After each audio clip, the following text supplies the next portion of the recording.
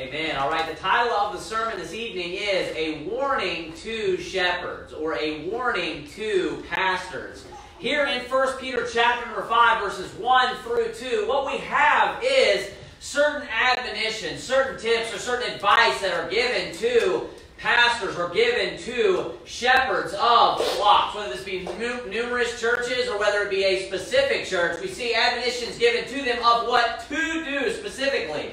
But not only that, we see warnings of what to stay away, away from.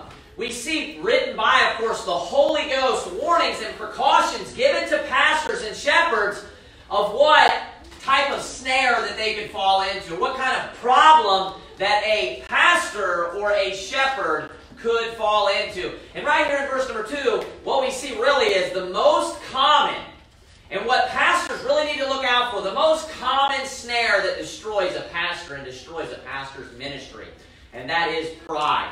I want you to look with me here. We're beginning verse number one. The Bible says, The elders which are among you I exhort, who am also an elder and a witness of the sufferings of Christ, and also a partaker of the glory that shall be revealed. Verse number two. Feed the flock of God which is among you, taking the oversight thereof. Then he says this not by constraint, saying not like you're forced to do it, but willingly. So not forced in a forced way, but that you want to do it, but willingly.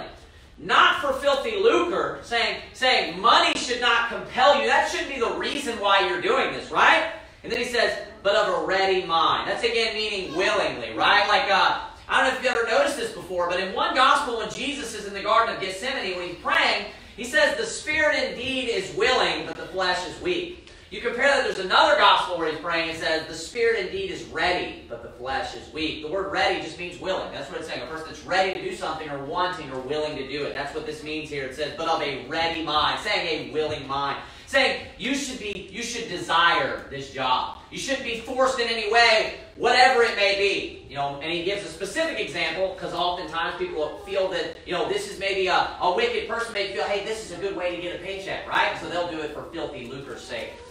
Look at what it says there in verse number 3. We see another uh, warning here. This is what I want to focus on this evening, verse number 3. It says this Neither as being lords over God's heritage, but being ensamples to the flock. So we see a warning here that says, Neither as being lords over God's heritage, but being ensamples to the flock. So I'm going to be focusing on this concept, and I'm going to be explaining to you what this means throughout the evening. Once we establish what it means, I'm going to be showing you in scriptures how this is very common for pastors and uh, other ways that people can fall into this and what exactly it's speaking of. Now, this evening's sermon is going to be very closely related, of course, to this morning's sermon because there is so much confusion that's being spread around about the subject of shepherd, bishop, as I've mentioned already. And this is a very, this is a paramount subject. It's extremely, extremely important to have the right authority structure. So we need to be rooted and founded in this, and we need to know why our church is the type of church that it is. We are a church of pastoral authority, not deacon authority.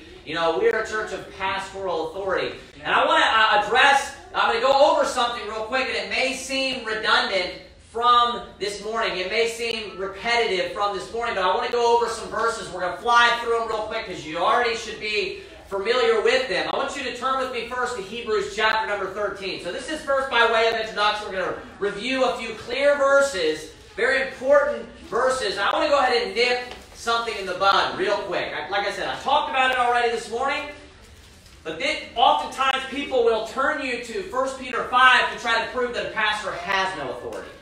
When the Bible just over and over and over again speaks that the pastor is over the flock, set a man over the congregation, right? Now, you know, like I said, this may seem redundant, too bad. It's super important. So let's look at these verses. We're going to establish very clear, this is specific and at hand right now. Very important. We're going to establish these verses and see that the pastor, that there are rulers in the church, and it is the bishop, it is the pastor, and he has authority. Look at Hebrews chapter number 13, verse number 7. It says this Remember them which have the rule over you. House churches don't like that. The rule over you who has spoken unto you the word of God. This is the man feeding the flock with knowledge, right? Whose faith follow. Notice that they're an example, considering the end of their conversation. Conversation means their lifestyle there. It's not talking about the things they speak. Conversation in the Bible is talking about the way they live.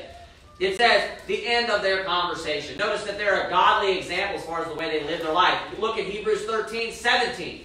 Same chapter, verse 17.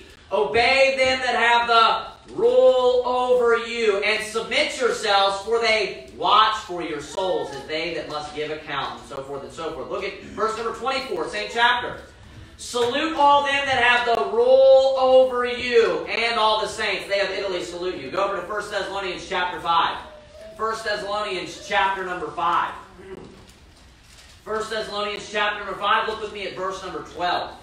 1 Thessalonians chapter number 5, verse number 12, the Bible reads, And we beseech you, brethren, to know them which labor among you. Notice these are the people that are doing the work, which labor among you. And then it said this, and are over you in the Lord. Notice the same exact wording each time. Rule, over.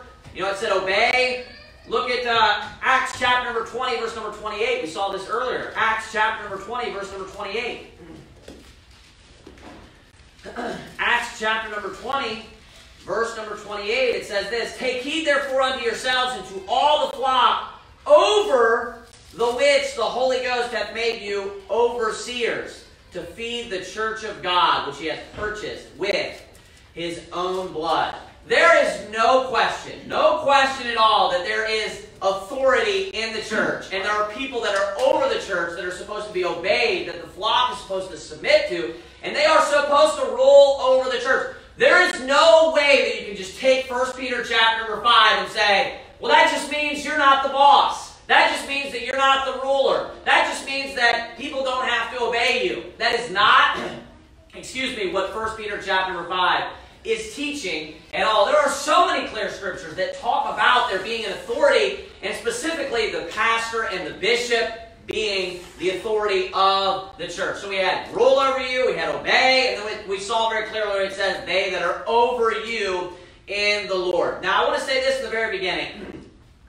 Just like with any authority, any position of authority, the power can be abused, can't it? If you see people that are given any type of authority, of course that power can be taken and abused. And because, of course, we are humans, we're all susceptible to pride, aren't we? And oftentimes, when uh, you know an authority or power is taken and abused, what's the reason why they're doing so? Because they become very prideful. A person will become very prideful, and they begin abusing this type of authority, right? Well, this is why this warning is so much more even important because we know we're human, we know the heart is deceitful, we know that we're, we, we, we have a proclivity to pride, God clearly establishes authority in the church. He clearly establishes certain people to be over in the church. So that automatically, we, we know, that automatically is going to make them even more susceptible to pride, isn't it? So there needs to be a warning that goes forth to pastors. There needs to be a warning that goes forth to shepherds on this particular note. And the reason being is because if a pastor fails 99% of the time, I mean, I just pulled that you know, number out of my butt, but 90% of the time, most of the time, you know why they're going to fail? It's because of pride. When you see a fall of a man, a great man of God, it's because of pride. Right. Study it out in the Bible. It's always because of pride. So doesn't it make perfect sense that you would see a warning about pride and specifically about abuse of a power. Abuse of power, abuse of authority. When we look in the Bible, we see example after example of great humble men being lifted up in a position where God desires for them to be in that position, but then they end up falling because of pride. You know what they start doing? They start abusing their power. And the reason why this is so important is because when they start abusing their power, there is no way that, that, that, that you can do so without hurting the people that are under you. So what they end up doing is they end up taking advantage of those that are under them. They take that authority, they take that power, and then they use it for their own benefit. They use it for their own benefit, and they end up taking advantage of the people in their church. They end up taking advantage of the people in their ministry, whatever it may be, and they end up hurting the people that are in their church. God desires for man to be in this position. That's why he gives the warning, because he knows that there is a proclivity to this type of fall. So this is a snare that pastors will fall into. So what we what we don't do is we don't you know say you know uh, like some people will conclude they'll say you know well because people are more susceptible to pride, then we should just have no leadership. You should never take a man and put him into a position of leadership. That's what's known as, as a non sequitur. That's a logical fallacy. A non sequitur means that doesn't follow, right? Your reasoning, that's not what follows that, right? I'll give you an example in the Bible that debunks that. The husband. How much authority does the husband have in the household? How much? All of it. All of it. You know, that may make people uncomfortable, but it says, uh, you know, just as the church submits or is subject unto Christ, so let their wives be unto their own husbands. And then it says this, in everything, just in case you didn't understand that. Amen. That means everything. Everything means everything. Right. So the same way, how, now let me ask this question just to further prove that point. How subject is the church unto Christ? In exactly, that's what I was just going to say, in everything. So you know how subject the wife is to be to the husband? In everything. No, no exceptions. Amen. Now, are there husbands that abuse that authority? Yes. Tons of them, everywhere. So do we conclude, therefore, he should not have that authority? we need a 50-50 relationship? No, we don't do that. Amen. The, the authority still needs to be there. There has to be leadership. There has to be. No, you will not succeed you know, on a project at any type of level if you do not have a leader that's running things. In any type of situation, there always has to be somewhere where the buck stops. There always has to be someone that, that, that's ready at any moment to, you know, uh, uh, take control and to help out and to do all, make decisions and to be decisive. You have to. It doesn't matter, worldly, secular, it doesn't matter. In all situations of life, you have to have a leader at the top. You have to. Amen. So that does not follow. Okay, well, because uh, you know authority is abused, therefore you should not have authority in the first place, right? That, that that's ridiculous. That's that is a logical fallacy. That can be you can use that in in so many different uh, um, uh, ways and use examples to debunk that. So so that's obviously ridiculous. So what this is is a pastor. I I want, I want to say this too as well. I want to make this point before I move out of the introduction. A pastor is the most important office of any office in the entire world. And I really believe that. A pastor is more important than the President of the United States. Amen. I am more important than Donald Trump. No, I'm just kidding. Every pastor across this nation is more important than any political leader. Amen. His decisions affect the temporary now and here, and that's it, and it ends. And you'll move on, and then another nation will be established, and all over again. But a pastor is dealing with eternal souls. Right. And he is affecting things that are eternal. He's affecting eternal souls. He's watching over the souls of his church. Amen. He's helping out and benefiting people for eternity, gaining words, rewards for eternity.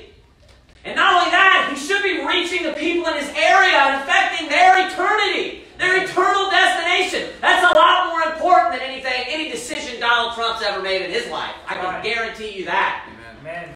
So when you understand how important the office is, and then you, you understand how it makes you more susceptible as a pastor, how pastors have a warning that's given to them. Hey, you need to be careful about this. You need to be careful about pride creeping in because it will destroy you and it will destroy everyone in your church and everyone around you. Pastors need to take heed. Amen. Shepherds need to take heed. This is a very, very important topic. So, I want to begin here in 1 Peter chapter number 5. I want to look at this one more time just to keep it in your mind. We're going to just, I'm just going to read it, review it, then we're going to move on. And I want to, because I'm going to explain it to you by comparing Scripture. Which went the wrong way? 1 Peter chapter number 5. Look there one more time at verse number 3. This is what I'm going to explain. This verse right here. Neither as being lords over God's heritage but being ensamples to the flock. Now, do we interpret that? Is it possible, in light of the rest of the Bible, to interpret that as you're not supposed to be the ruler? That's ridiculous, isn't it? It's, it, it's not possible. Okay? So, the, for the people that just have a problem with authority, and, and, and I, I even heard this recently. I've heard a man say literally this there should be there, there should never be a man that's over the congregation. It's like you just literally quoted Numbers 27. Literally. There should never be one man that's over other, you know, other men. That's not what the Bible teaches. That is not what the Bible teaches at all. And then people will try to point to this to prove that. That's not what this is teaching at all. This is a warning to a man that is proud and he is prideful and he's taking advantage of his church. I want you to turn with me to Mark chapter number 10. Mark chapter number 10. Jesus explains to us what a leader is supposed to be like. In Mark chapter number 10, how a Christian leader is supposed to be. He's, of course, speaking to his disciples. Mark chapter number 10, verse number 42. This actually, this passage right here interprets for us 1 Peter chapter number 5.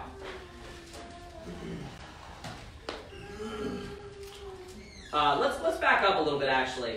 Look at verse 35. It says this And James and John, the sons of Zebedee, come unto him, saying, Master, we would that thou shouldest do for us whatsoever we shall desire.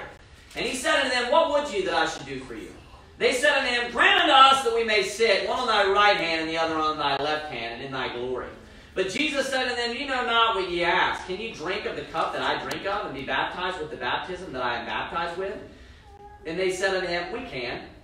And Jesus said unto them, Ye shall indeed drink of the cup that I drink of, and with the baptism that I am baptized with, withal shall ye be baptized. Then he says this, But to sit on my right hand and on my left hand is not mine to give, but it shall be given to them for whom it is prepared. Then it says this, And when the ten heard it, they began to be much displeased with James and John. Now, when you compare Scripture to Scripture, in one of the other Gospels, the other account that's given, it actually says uh, uh, even more so that during this same time that they were arguing with one another, who would be the greatest, right? So they're sitting there and they're. I want you to notice something that they're they are desiring. They desire just to have, if you will, the preeminence. They desire to be the greatest. Just for what purpose? To help serve others? Of course not. It's just to be the greatest. Why?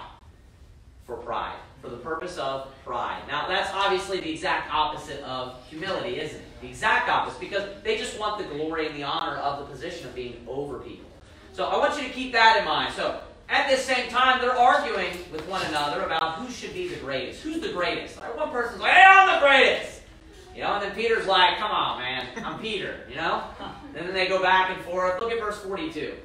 But Jesus called them to him and saith unto them, you know that they which are accounted to rule over the Gentiles, notice this, exercise lordship over them. That sound familiar? That's what we saw in 1 Peter 5. and their great ones exercise authority upon them. Verse 43 But so shall it not be among you. But whosoever will be great among you, I want you to watch this, shall be your minister. Now, what does it mean to minister? It's the person that's doing the work, it's a servant. Look at the next verse, verse 44. And whosoever of you will be the chiefest, so this is the man that's the greatest, this is the man that has the authority, or he has the rulership, or the lordship, if you will. He has the power. And whosoever you will be the chiefest shall be servant of all. Now watch verse 45 to help us interpret all of this. For even the Son of Man came not to be ministered unto, but to minister and to give his life a ransom for many. Now, when Jesus Christ came on this earth, to further explain this, did, did when he was with his disciples, was this like a 50-50, a board of democracy where they were all voting on things? Is that how it worked? No. Jesus Christ was the shepherd. What did that mean? He was calling the shots. Right. When they're going soul winning and they have a ministry, he's there getting things ready. He says, hey, go get ready for the Passover. Mm. He's giving commands, he's giving orders, right? He was the boss. Who's preaching the Word of God? He's preaching the Word of God, isn't he? He's preaching it with authority. When people are gathered together, he's feeding the flock. He's the shepherd. He's the one preaching to the congregation. He's the one always correcting and rebuking them. He is the one that is in charge, isn't he? Amen. He's the chiefest of all. Was were the other people telling him what to do? No, that's ridiculous, right? Or, or, or his disciples coming up to him and, and saying, "Hey, I don't think things should run like that. Let me give you a suggestion here." Of course not, right? Jesus was the bishop. Amen. Jesus ruled over them. He was the man that was set over that congregation, wasn't he? There's no question about that. You can read all about Jesus was the boss, right? But you know what Jesus did? Jesus did the work. Jesus served. Jesus ministered. Now, we have an interpretation here of what it means to exercise lordship. He says this in verse 45 one more time. For even the Son of Man, watch this, came not to be ministered unto. That's a person exercising lordship. That's a, a Gentile that's exercising lordship. You know what it is? It's a man standing there and exercising his authority. You know what he's doing? He's just telling other people to do the work. You know what he's doing? While he's doing that, he's standing back and just allowing them to work while he does nothing. He's allowing them to do all the work and he just sits back and does nothing. He just watches them. He's exercising his lordship. But then it says this, it contrasts that and says, but to minister. Saying he came to actually do the work. But to minister and to give his life a ransom for many. Now, when we look at 1 Peter chapter number 5, it says, neither as being lords over God's heritage. And it says this, but being what? Ensamples to the flock. Do you know what ensamples is talking about? Saying you're actually the one doing the work. Saying you're not just yelling out orders, you're just not giving commands. You're not just like the Gentile supervisor or like the taskmaster that has a whip, right? Saying, fulfill your task, right? And whipping people and then just standing back. That's what it's talking about of exercising lordship. Yeah, you have the role, Peter, as an elder, as a bishop, as a shepherd. Yeah, the pastor has the power, but he shouldn't just stand back. He shouldn't just, you know, uh, uh, scream out orders and then just sit around and do nothing. Amen. And allow people to minister unto him.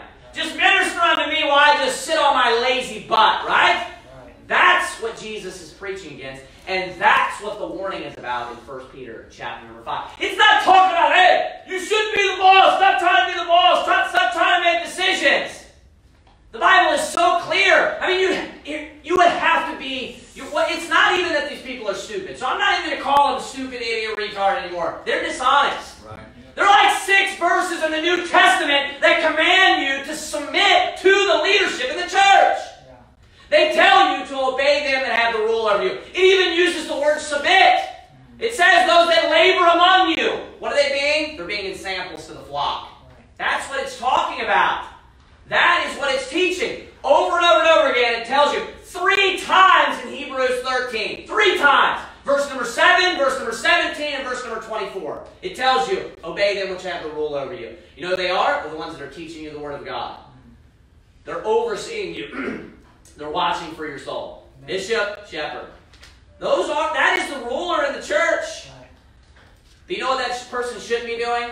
They shouldn't be coming, you know, and expecting to exercise lordship. Just exercise their power and be ministered unto. They that's why pastors oftentimes are called ministers. The pastor should be doing more work than any other person at the church.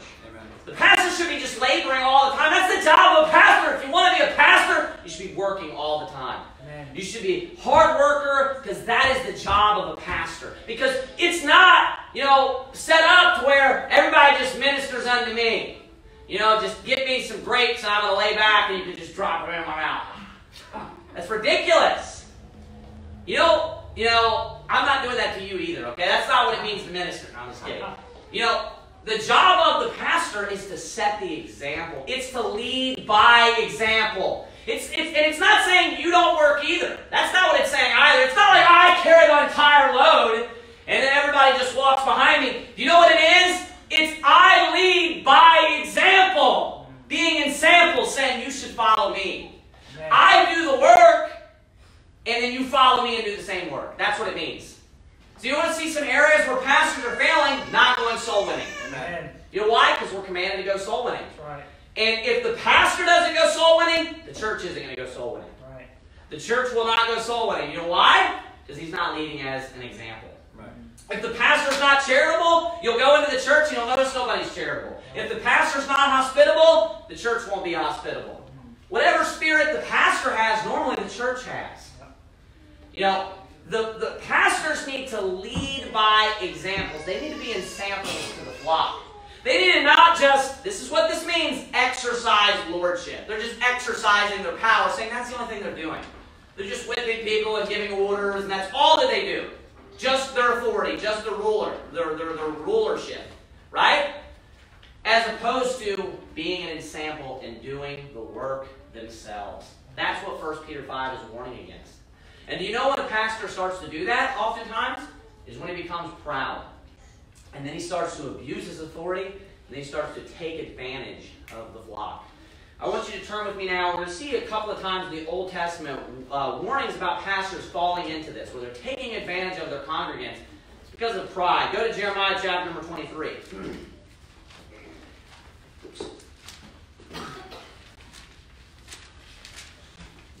Jeremiah chapter number 23. A lot of the same verses that we read this morning, just looking at them in a different light. Different. The, the Word of God is so deep, you can use the same verses, preach an entirely different sermon, focus on completely different things, and everybody can walk away with brand new knowledge. Amen. That's how deep the Word of God is. Amen. Look at Jeremiah chapter number 23, verse number 1. The Bible says, Woe be unto the pastors that destroy and scatter the sheep of my pasture, saith the Lord. Therefore, thus saith the Lord God of Israel against the pastors that feed my people. Ye have scattered my flock. Watch this. And driven them away. And then he says, and have not visited them. So notice they don't care about them. Behold, I will visit upon you the evil of your doing, saith the Lord. And I will gather the remnant of my flock out of all countries whither I have driven them, and will bring them again to their folds, and they shall be fruitful and increase. And I will set up shepherds over them, which shall feed them, and they shall fear no more, nor be dismayed, neither shall they be lacking, saith the Lord. So notice the first pastors, what did they do? They abused their authority, didn't they? Mm-hmm. And they destroyed the sheep. They harmed and, and hurt the sheep, right? Now did God just say, all right, no more authority given to anybody. Nobody's going to be over the congregation. You know, you guys are just, you, it just makes you guys too proud. Is that what he said? No, look at verse 4. And I will set up shepherds over them which shall feed them. So notice the solution is not just get rid of all authority. No, it's, it's let's put another man over them. You know, let's put a different guy over them, right? Let's put somebody in, in, in there that has the right heart and that cares for the sheep. Do you know when a pastor stops caring for the sheep? He's, you have two options. You're either going to be selfish or you're going to be selfless. It's when he's worried about himself. You know what he does is he starts taking advantage of everyone else, and he starts hurting them, and that's how you, they destroy the flock. Go to Ezekiel chapter 34. this is the famous chapter, of course, about the the bad pastors. I like to refer to it as this: the bad shepherds versus the good shepherd. The bad shepherds versus the good shepherd. Of course, this is the the famous chapter about the Lord Jesus Christ as our shepherd. Look at verse number one. I don't know how much we're going to read down through here. There's a lot in here, so we'll begin right at the very beginning of the chapter. Look at verse 1. And the word of the Lord came unto me, saying, Son of man, prophesy against the shepherds of Israel. Prophesy and say unto them, Thus saith the Lord God unto the shepherds, Woe be to the shepherds of Israel, watch this, that do feed themselves. Look at that. Should not the shepherds feed the flocks? Now, what does that mean they're feeding themselves? Are they doing work? That's the whole point. They're not doing the work, but they're just they're just, you know, uh, uh, uh, shearing the sheep and taking what they have. They're allowing the sheep to do the work, and then they're just taking what they have, while they just sit back and do nothing, right? Now, furthermore, uh, keep in mind also what Jesus was teaching from Mark chapter number 10. How he talked about how, how the, uh, the they exercise lordship. It's the same exact concept. What are they doing? They're just sitting back and they're just telling other people what to do as like as a taskmaster. So other people are working while they're not working. What is their job? It's to preach the word of God. And he's saying they're not feeding the flock. They're not doing their job. They're not even preaching. They're not teaching the word of God. That's why everyone in Israel was ignorant of the law of God. Because they weren't doing their primary job. And what was it? To feed the flock. It was to feed the flock. So instead of feeding the flock, they weren't doing that at all. They weren't doing any work. They were still just taking advantage of the flock, weren't they? But they were still, you know, feeding themselves instead of feeding the flock. The exact opposite. It's the same thing. First Peter chapter five is teaching as well. You know, not, neither is being lords over God's heritage, but but being ensamples to the flock. So what is this teaching again? Instead of them doing it, they're just taking from from their flock. Look at verse number three. Ye eat the fat, and ye clothe you with the wool. Ye kill them that are fed. Watch this. But ye feed not the flock. So what are they doing? They're not doing any work. They're not being an, an sample or an example to the flock. And who are they worried about? Themselves. And they're not taking care of the flock. They're not taking care of the sheep. What ends up happening? It ends up harming the people in the church, doesn't it? Look at the next verse, verse 4. The disease have ye not strengthened, neither have ye healed that which was sick, Neither have ye bound up that which was broken, neither have ye brought again that which was driven away. Neither have ye sought that which was lost, but with force and with cruelty have ye ruled it. So notice all this work that they're not doing. Notice all this work that they are not engaging in. Now, of course, there's a spiritual application all this. He's speaking as if they are literal sheep when they are not literal sheep. We bind people up. Pastors are supposed to bind people up spiritually. They're supposed to help people spiritually by feeding them the Word of God so they can get sin out of their lives, so they can help them when they're down. You can you know, preach a sermon about the love of God or something, and, and, and it'll make you feel better, right? You know, you know, we don't toss out all the positive and just preach on negative. Sometimes people are down and depressed and they need a, a, sermon on being comforted, don't they? About the comfort of God, about the Holy Spirit and God's love for us. Sometimes that's what people need. You know what? The pastor, when he's not worried about the people, you know, he'll just preach, you know, whatever brings the money in. You know what he's able to do then? I'm just, just keep shearing the sheep. But he's not really binding them up, is he?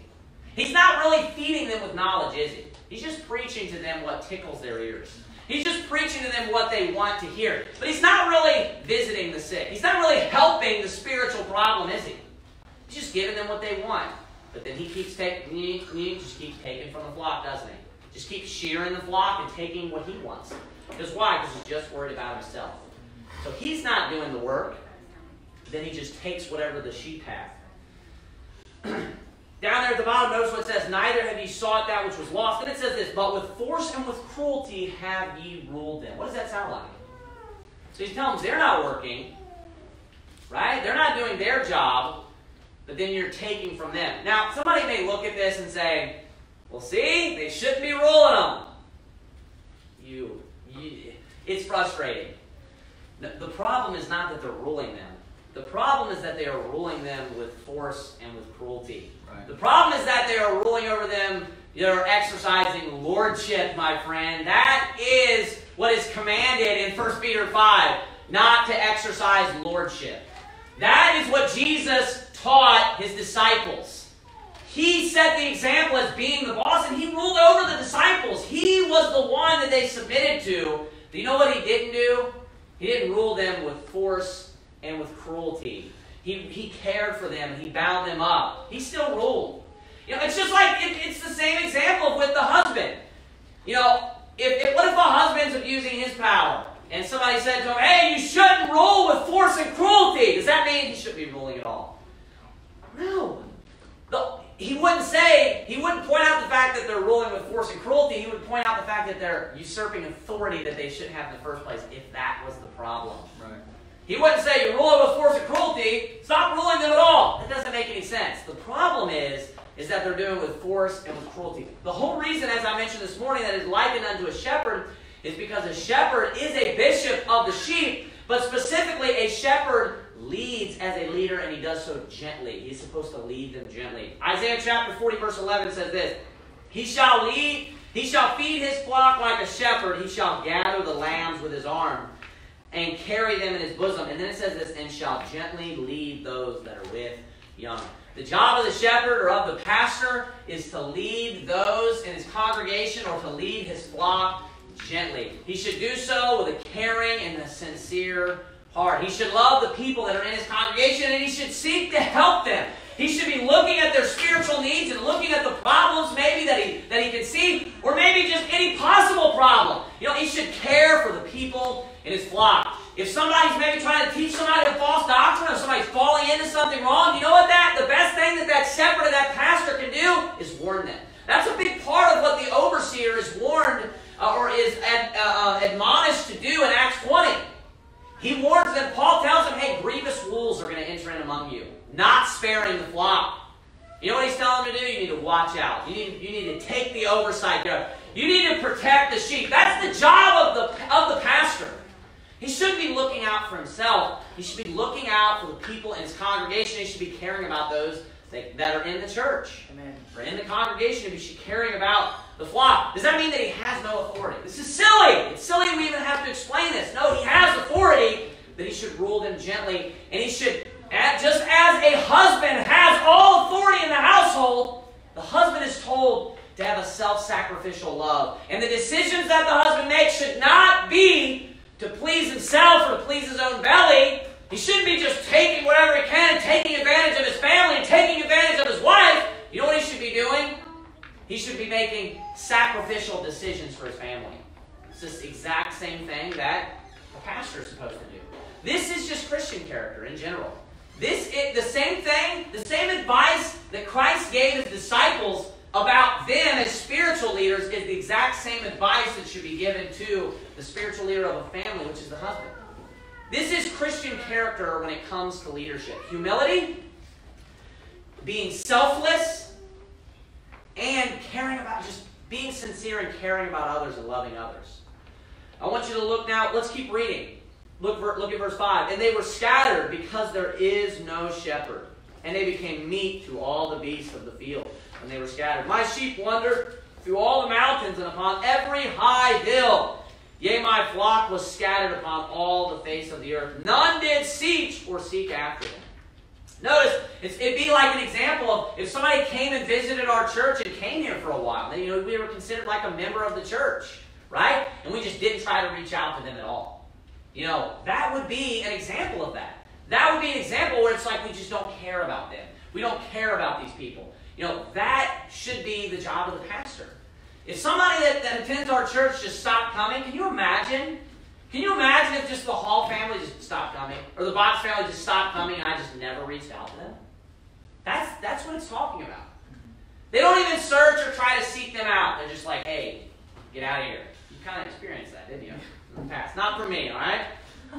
Or just, that's it. And you know what that comes from? It comes from pride.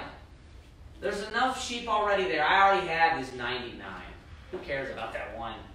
I'm getting enough, you know, uh, uh, wool from what I have here. I got enough wool here.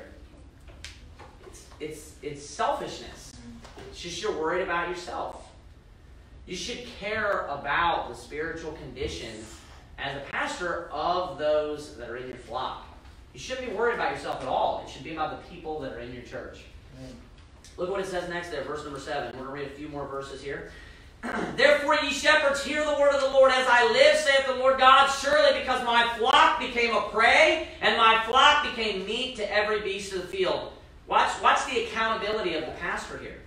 Because there was no shepherd, neither did my, my shepherds search for my flock, but the shepherds, look at this, fed themselves and fed not my flock. Therefore, O ye shepherds, hear the word of the Lord. Thus saith the Lord God, Behold, I am against the shepherds, and I will require my flock at their hand. Notice, it says in Hebrews chapter 13, as we read in verse 17, it says that obey them and submit to them that have the rule over you, for they watch for your souls as those that should give, should give an account. Just like here, what are these shepherds doing? They're giving an account, aren't they? And what were they doing? They were ruling with force and cruelty. They were exercising lordship. Notice the consistency here. And then what do they do? They're taking advantage of those. What is the supervisor doing? Think of a taskmaster, like like like Egyptian taskmasters. What are they doing? Of course, that's like a perfect example of Gentile lordship, exercising lordship, where they're just beating people and just forcing them to do all the work while they do none. That's what Christ is saying. That's not how it works in, in Christian spiritual leadership. You do the majority of the work, leader. You do the majority of the work, and you don't take advantage of the people in your church. You do the majority of the work, and you set the example, and they will follow. This guy, what are these shepherds doing? They don't care about their flock. They're all in it for what? Filthy lucre. They're all in it for themselves, aren't they? That's all that they care about. And they're trying to take advantage of the, the people in the church. They're, what they're doing is they're abusing the authority and they're abusing the power that they were giving. What were they doing? They were ruling them with force and they were ruling them with cruelty, just like a Gentile lord. Notice that consistency? I want you to turn with me now. Look at this last example. This has been brought up numerous times. It's somewhat off subject, so I want to give you some real meat that you can learn from. Go to 3 John now. 3 John. 3 John.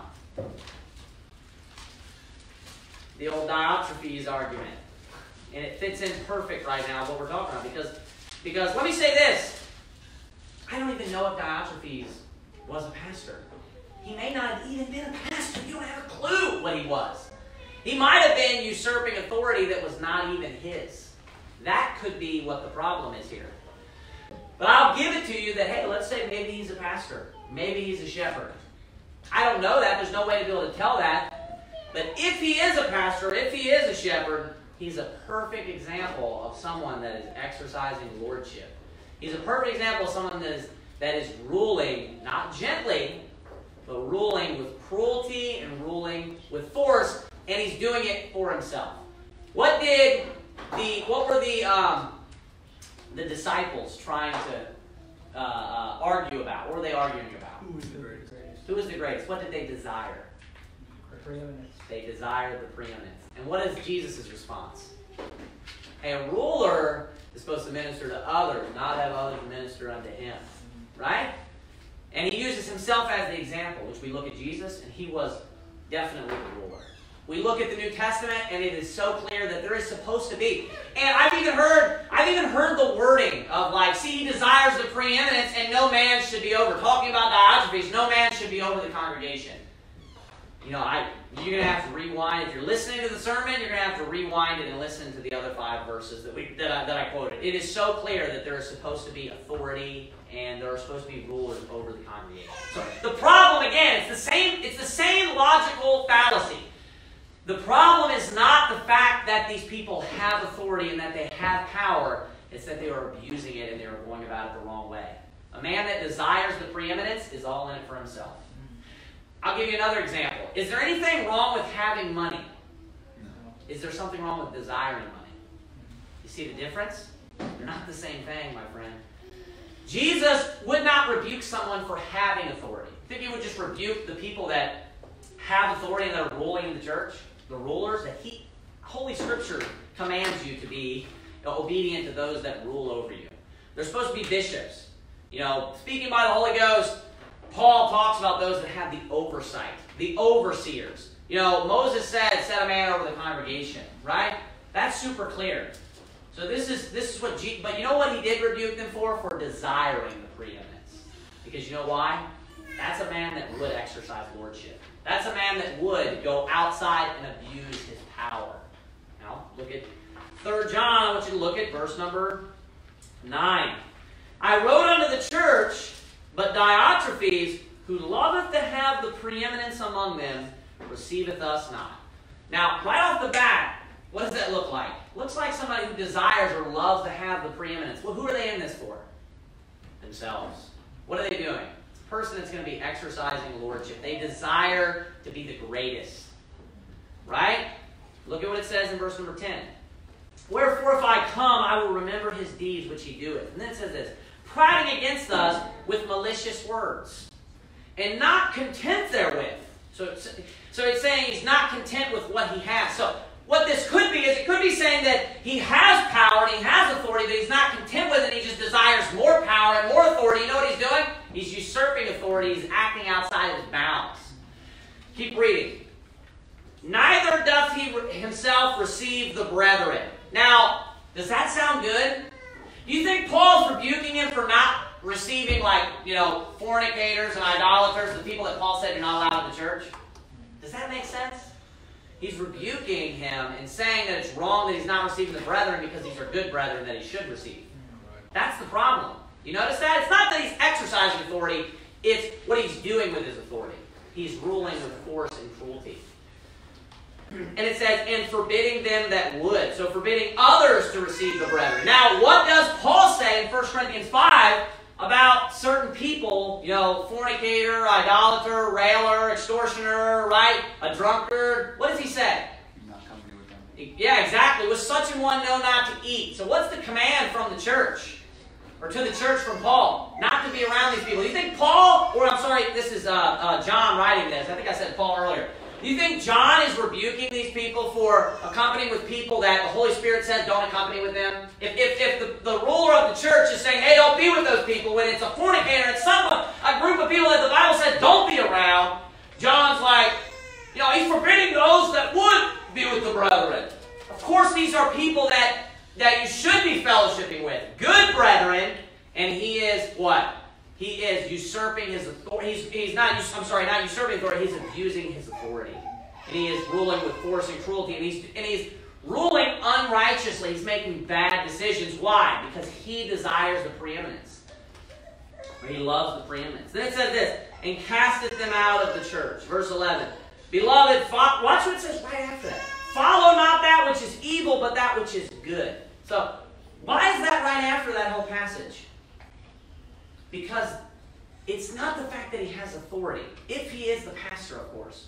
The problem is, is what he's doing is evil with his authority. He is ruling with force and he's ruling with cruelty. He loves the preeminence.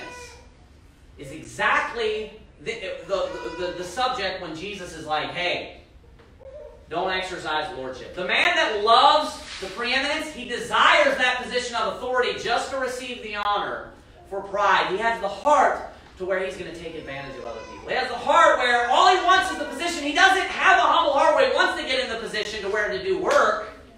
He just wants to be in the position himself, for himself, because he wants to abuse others. He wants to take advantage of others. That's clearly what Diotrephes. Diotrephes, if he was a bishop, there's one of two options here.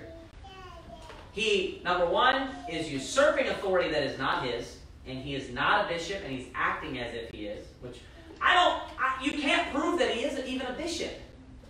You can't even prove that. I wouldn't even argue with you. Maybe he is when it says, and not content therewith. He's not content maybe with the authority that he has. He's even, he, he's even stopping the apostles from coming. If this man's just a regular bishop, he doesn't have more authority than the apostles. You understand how this guy's out of control, no matter how you look at it? But I don't believe that to be so. You know, I, I don't know. You can't make a decision whether or not he is a bishop or is a pastor. But let's just give it to them that maybe he is a bishop, maybe he is a pastor. Do you know what the problem is? It's that he loves the preeminence. He wants to be the greatest. And do you know what happens? Jesus gave a warning about those that want to be the greatest, and he says, You'll exercise lordship over the people. Let me explain something to you. You need to understand that it's not just to be the greatest so you can rule over others, to get to benefit. You need to understand before you go into the office of a bishop, your job is to minister unto others. Diotrephes is not doing that. That's, that's the problem with what Diotrephes is doing. That's the issue here. And not only that, he's unrighteously casting out people that should be in the congregation. Now, here's the thing there, there is authority and power given to the pastor. But what if someone came in here that's just a good brother and maybe let's say let's say this. Maybe this isn't a, a, good comparison this because notice what his motive is. He loves the preeminence. Why isn't he allowing the apostles to come? Because they have more authority than him. It's a prideful man. Let's. I'll give you an example. What if there's a pastor, and, and, and he is the pastor of a church where there is pastoral authority, and there's let's say a man in the church that you know is let's say he just knows the Bible super well, maybe more than the pastor and then he just tries to get that guy and cast that guy out of the church. Just for no good reason. Would that be good or bad? Right. Is the problem that he has, and these, this is, I'm speaking to people that understand pastoral authority, that the pastor is the one that makes the decisions. Is the problem that he has the authority to throw that guy out of the church, or that he just threw someone out of the church? Is that the issue here? No, it's that he unrighteously judged. And why? Because he loves the preeminence. That's what it is. That is, this is the fear of the pastor. This is, if, if he's a pastor, this is a perfect example of a man that is exercising lordship. Where he's not, he's not serving others, he's serving himself. Jeremiah chapter number 17, verse number 15, I'll just read it to you real quick. It says this Behold, they say unto me, Where is the word of the Lord? Let it come now. The passage where Jeremiah talks about himself being a pastor. He says this then as for me, watch this. I have not hastened from being a pastor, and he says, to follow thee. Notice that. Notice when he says that he's being a pastor, he says, I haven't hastened from being a pastor, saying he hasn't left from being a pastor. He says, to follow thee. And then he goes on, Neither have I desired the woeful day, thou knowest. That which came out of my lips was right before thee. So, notice when he's talking about being a pastor, he said he hasn't hastened from being a pastor to follow thee. You know what a pastor does? He sets the example. Just like Paul said, follow me even as I follow Christ. You know what a pastor does? He sets the example for everybody else. He doesn't just make everybody else do the work. What did Christ do? He came to be an example for us. Did he not have authority? Did he not rule? You know? People have trouble reconciling thoughts sometimes, and they get something in their minds. I give some people with the benefit of the doubt that just have issues with this, and it's not just rebellious, you know, rebellious heart. Both coexist. You have, you know, God wants there to be a man over the congregation that has authority and has power, and he's ruling, and he's making decisions, pastoral authority. But he shouldn't be ruling with force and cruelty. The pastor should not be ruling for himself and not doing any work and not feeding the flock and just feeding himself. He needs to be doing the work he needs to be setting the example. And a pastor needs to be following God. He needs to be following the Lord. He needs to be setting the example. And as Paul said, follow me even as I follow Christ. That's the perfect example. Of, that's a perfect uh, quote right there of how a pastor should be. That should be the personality of a pastor. They should be able to say, like, um, who was it that made the statement? Um, you know, come with me and see my zeal for the Lord. Who was that? Jehu. That's right. Jehu said, come with me and see my zeal for the Lord. That's the attitude that a pastor should have. A pastor should be someone that can set an example, not someone just ruling with lordship, not being lords over God's heritage, but being examples to the flock. Let's bow our heads and have a word prayer. Heavenly Father God, we thank you, dear Lord, for the warnings to shepherds and pastors, and the warnings of pride and, and uh, just, uh, feeding themselves and not feeding the flock. And we ask you that you be with us, dear Lord, and be with all the pastors, dear God, and, and um, that you would uh, help us to have an understanding of, of, of your word and of the authority structure of what we should be doing in all areas of the church. Just please enlighten our eyes, enlighten our hearts. Help us to be a church that's pleasing to you, dear Lord. Help us to have a humble heart if we're wrong about things to change, dear God. And uh, we ask you that you would be with all the children, be with all the families, dear Lord God, that, that aren't feeling well, and just protect everyone that is here tonight. Be with all of us. Just pour out a special blessing, showers of blessings upon all of us. And in Jesus Christ's name, amen. amen. amen.